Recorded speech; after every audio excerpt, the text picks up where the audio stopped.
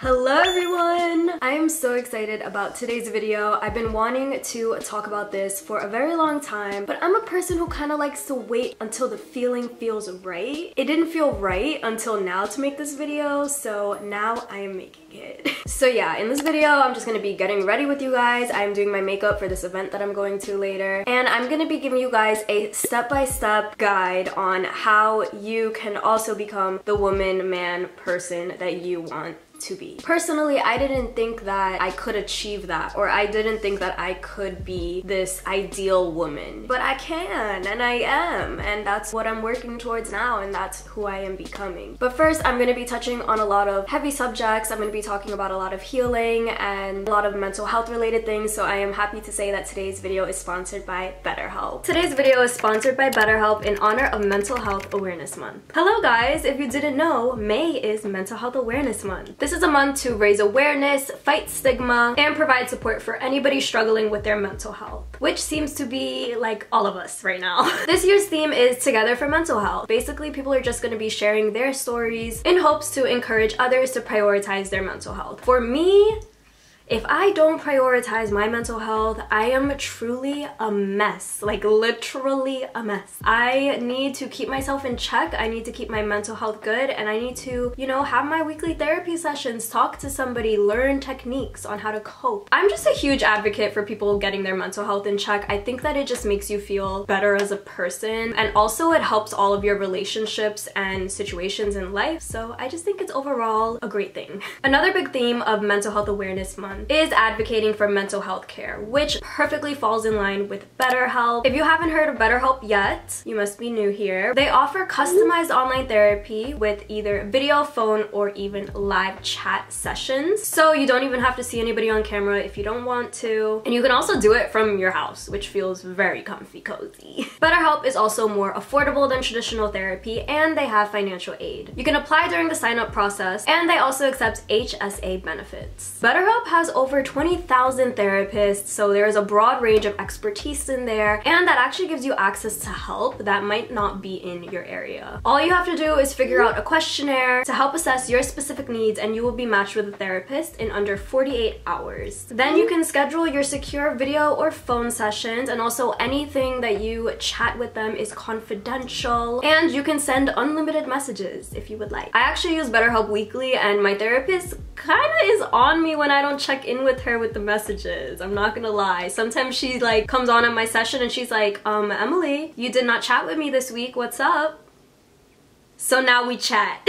So yeah, you can really form like a cool bond with your therapist. And if you're not, you can change your therapist very easily. All you have to do is request a new therapist at any time for no additional charge and you'll be matched with a new one. So yeah, this is Mental Health Awareness Month. So if you are somebody that you know is struggling, let them know about BetterHelp. It could be a really good option. And I actually have a link for 10% off your first month. You can go to betterhelp.com slash Emily Lee. That is betterhelp, H-E-L-P dot com slash Emily Lee. So yeah, thank you so much to BetterHelp for sponsoring this portion of the video. Let's get back to our regularly scheduled programming. Hi guys, we are back. What's good? So, you know, journeys like this have to always start somewhere, right? It's like you don't just wake up one day and become the person that you've always dreamt of. You're not just gonna wake up one day and everything is gonna magically be solved and situated. It takes hard work, you know? But as I said, I have a handy guide for you guys, which I'm gonna be sharing and also talking about about my experiences. Step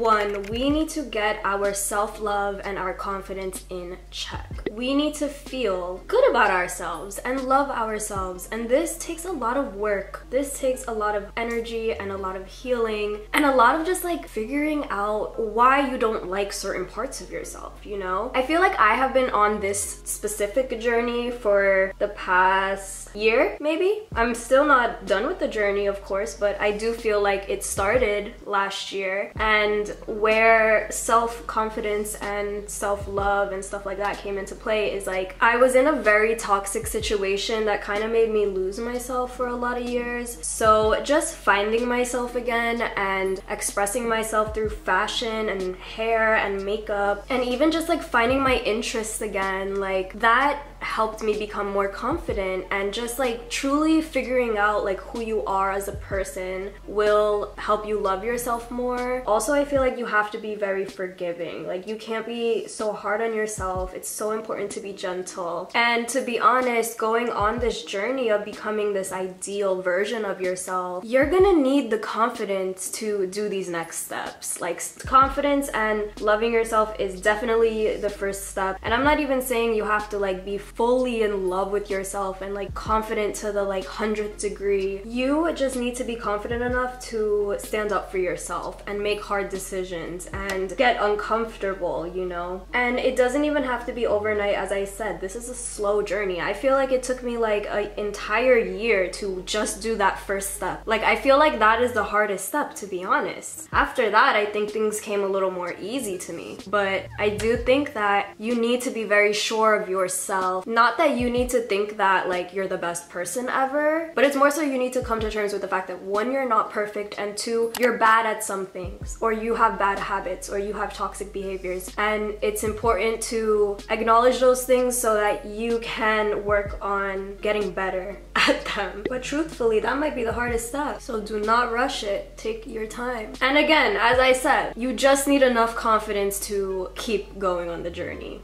that's it. You don't need to be the most confident person ever. You just need like a little push, you know? Next thing is to get out of any toxic situations or uncomfortable situations. Basically anything that's gonna hinder your growth and your journey to be the best version of yourself and to love yourself fully, we do not need to be around them anymore. There's absolutely no reason why people need to have that access to you if they are not making you feel good. And I think that like sometimes we put others in front of of ourselves. It's easy to be caught up in, you know, it could be like love in a toxic relationship where you just have so much love for them that you don't even realize that it's like so toxic or like so unhealthy. You don't realize it's actually bad for you because it's like love. But these things aren't good. These situations aren't good where you're just feeling bad about yourself. When leaving a person, how you feel is very important. So after hanging out with somebody, take note on the emotions that you feel afterwards because it's very telling on the type of energy that you guys just exchanged. I feel like every time you meet with somebody, it is kind of like an energy exchange and it's very, very telling when you have a bad feeling when you leave somebody. That's probably not a good relationship for you. Also, I feel like step one, confidence, helps with this one because you slowly realize your worth and then you slowly realize like, why am I letting this person make me feel like shit? You just don't want to be around things, people, places, that's gonna make you feel bad. Like that just shouldn't be your intention of the day. Like you should intend every day to be in situations and to be around people that you feel good around. I used to always do so many random things or like hang out with people that I didn't even really feel fulfilled with just for the sake of like them maybe or just like, oh, I have a bad feeling but it will go away. Probably won't. Like your intuition is strong. So step two is really about protecting yourself, your space, and giving yourself like just a good support system. We don't need to be around people that suck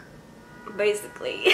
Next thing is figuring out who your dream self even is. Who is your ideal version of you? You can look at a lot of things when it comes to this one. I feel like a lot of it has to do with like what you're passionate about, what you really wanted as a child. A lot of things have to do with your inner child, you know? I feel like ever since I was little, I've always loved music and entertainment and like what industries do I want to be in? Music and entertainment. So it's just like telling sometimes like what you were really into as a child before, you know, you felt judged or felt stupid or felt like you needed to be a certain way in order to impress people, you know, like before you're influenced in any way, there was something that you really, really loved. So I want you to look at that. Maybe that's where your dream life falls. Also, I would see who you look up to and even people that you are envious of because you're probably envious of them because they have something that you want that you don't have. So humble yourself, look at them and see why are you envious of them? Do they have more money than you? Do they have the job that you want? The relationship that you want? What about them is making you feel bad? That's very telling. Going even further to like figuring out who is your dream self, it can be literally anything. It could be like, how do you want to dress? Are you a person who you're sitting there like dreaming of these outfits but feeling like you could never wear them because you're insecure? But do you really want to wear them? That's the thing. This is not a time to be like, but I can't do that. This is a time to really like give yourself no limits. Like if you had no limits, who would you be? You know, that's what I want you to think of. Like, how would you dress? How would your hair look? How would you look? What would you do every day? What drink would you drink in the morning? Like, literally, what is your dream life? If you had no limits, who would you be? And that is the new goal, I guess. And then it's just about slowly reaching those goals. The next step is where action is finally coming into play. We are just gonna say, fuck it and do it like literally that's my biggest advice. You literally just need to do it. Like if you're sitting there and you're like oh my god my dream version of myself goes out on a random Tuesday walks to the taco place sits there and eats tacos by herself. Maybe she even orders a margarita and has a nice time. But if that's who you want to be and you're sitting there in your house on a Tuesday not doing that you need to say fuck it and just do it. Literally. That's what I did. And once you do it one time time, I feel like it becomes very, very easy. I feel like it becomes a lot easier to just keep doing it. You just need that mentality of like, all right, I'm gonna do it. And even if you feel uncomfortable, that is the point. You are gonna feel uncomfortable. So be honest, that's the next step. But pause because we're not there yet. you need to push yourself and it's literally just getting yourself to do it. If it takes you, even if it takes you an hour and a half to walk out the door. You have to. You have to do it because you have to say fuck it and do it. That's the next step. For example, I talked about how I am so scared to go to an event alone. Guess what? Tonight I am going alone. Can I have my applause please? I mean, I like know people at the event and I know some people in the event, so I'll know people there, but I'm showing up alone. And I am a little nervous to be honest, but it's really the fact of saying fuck it and just doing it. Not even giving myself the option to say no. I'm not gonna lie, in the past few weeks, there's definitely been events that I've been invited to that I have not gone to. But today, I was like, Emily, you're going. Like, that's it, you're going. You need to network, you need to meet people, you need to get out there. You're going. so I am. Am I nervous? Yes but I'm also excited because at this point I have been on this journey for however long and I'm ready for it. It is my next step. I've done the smaller things and this is just my next step and I'm excited to conquer it. And I'm telling you, the more you do it, the easier it gets. So like literally anything, like maybe it's a job interview. Maybe you want to dye your hair a crazy color but you feel uncomfortable because of where you live. You gotta say fuck it and do it.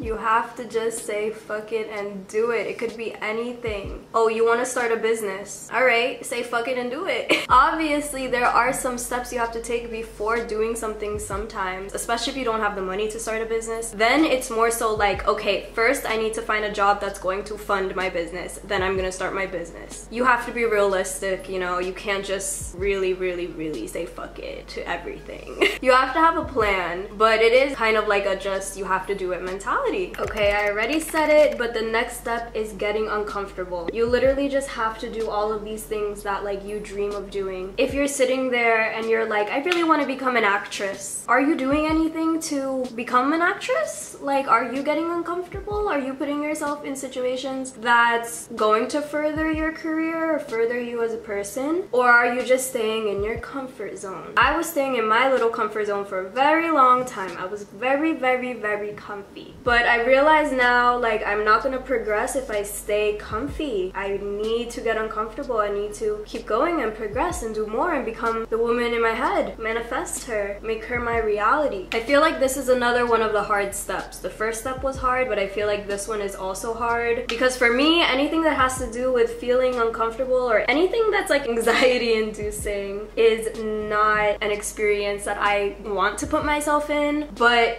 I realized if I don't, I will never achieve what I want to achieve. And I'm not cool with that. I am not okay with that. I want to achieve what I want to achieve, you know? So you have to get uncomfortable. Just like me today going to this event, I am gonna be so uncomfy. You don't even know. I'm gonna be so uncomfy because I'm gonna force myself to talk to people, say hi, how are you? That's terrifying to me, but I'm going to do it because I have a goal. I have a dream. I know what I'm working towards. I'm gonna be this woman in my head. And we are at the last step now, but I'm gonna make you wait because I'm gonna do my eyeliner first. Hee hee. This is like my new favorite eye look. It's giving mint chocolate chip. But okay, okay, last step. Keep going even when it gets hard. This journey is not a linear journey. There is definitely days where I feel like all of my progress as a person has disappeared. There are days where I feel just like 16 year old Emily in my bed wanting to sleep away my life. And that is a reality. That is definitely a real reality that I live with. So it's kind of just about knowing that you're gonna have bad days. You have to be gentle. I feel like it's kind of just committing to yourself that like you're gonna keep going and you're gonna do this and really believing it. You have to kind of really believe that you can achieve it. And I think that all of these steps like combined help you believe it because you need confidence, you need to feel a little uncomfortable. You know, I don't think that we are really in a society where we're taught or brought up to believe that we can achieve anything. I think that there's a lot of limits set on people. So it might even feel uncomfortable to believe in yourself or to be proud of yourself. But being uncomfortable is good. So I want you to welcome that like uncomfortable feeling of being proud of yourself. But yeah, this is a continuous journey. As I said, you don't just wake up one day like feeling like that. And also, as you grow and as you change and as you evolve and grow older, your dream version of yourself is going to also change and evolve. And eventually you're gonna reach your goal and guess what? You're gonna have a new dream version of yourself and then you can work towards that goal. So you'll never get bored.